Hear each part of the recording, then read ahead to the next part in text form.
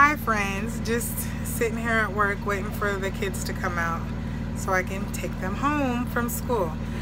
Anyways, um, doing this video, I just had a, a thought uh, about customer service and how we treat people um, from any job that you're doing just to day to day from work to school to grocery shopping anything anytime we come in contact with other people, we are supposed to, one, treat others like we want to be treated.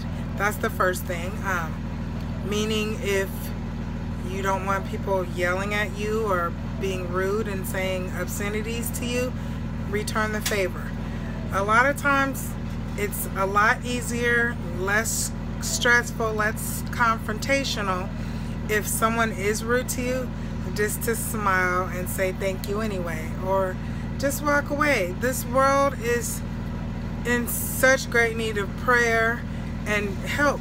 People out here you know you yelling and screaming and cussing at people um, just even basic road rage. You don't know when you see someone speeding nine times out of ten they're late for work or to get their kid or maybe they just have a lead foot.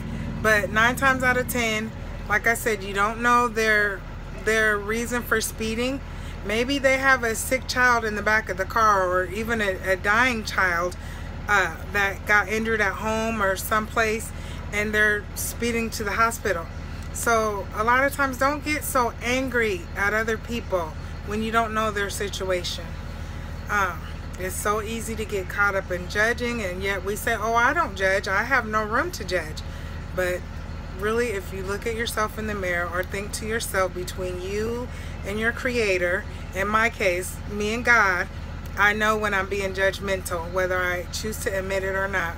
So my talk for today is if you're working in customer service when you're on the phone with people it's customer service please and thank you. Wait for them to hang up. Don't just hang up in their face after because you don't know if they have another question before you hang up. So many times I've called from the hospital to government agencies and I can say, okay, thank you.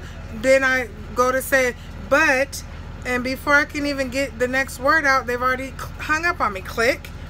Okay, why not in the call with saying, okay, ma'am, is that it? Is there anything else? You have any other questions for me? Then I can say, no, thank you. You have a good day. Blah, blah, blah. Then you know I'm done with the call. I mean, that's just common sense, basically. Um, why work at McDonald's if you don't want to deal with the rude customers coming through the line? A lot of times you're going to get people that are rushing that have been waiting in line for 10, 15 minutes. A lot of times you're going to get rude customers that you fixed their order wrong and they're bringing it back. So now they're being rude. Yes ma'am I'm sorry we didn't get your order correct. Let us see what we can do to fix that. You know it's it's just common courtesy. It's respect. You go through a line at Burger King or McDonald's or anywhere you want respect first of all. Second of all you want what you asked for and you want it correctly. And when it's not sometimes the people that are working preparing your food you don't really want to be rude because you can't see what they're doing in the back. That's that's the one thing. But um, again maybe their parent just died but they have to work to pay the bills. Maybe they have a sick child in the hospital. Maybe they have a husband or a wife that kicks the crap out of them as soon as they walk in the door or starts yelling. Maybe they're working to get away from abuse at home you know? So again you don't know people's situation. We are our brother's keepers like it or not, it's in the Bible. If you believe in God, it's written. We are supposed to treat our neighbors as we love our neighbors as we love ourselves and treat people like we want to be treated.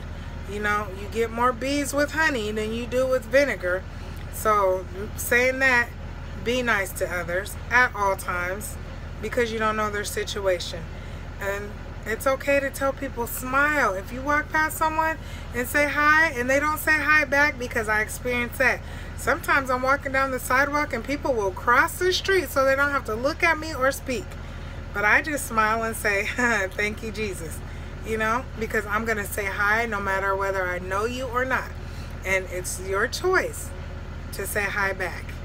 at the end of the day, remember, your life might be hard now, but trust and believe it can always, always be worse. And a lot of times, other people that you talk to or come in contact with, their life may be worse than yours.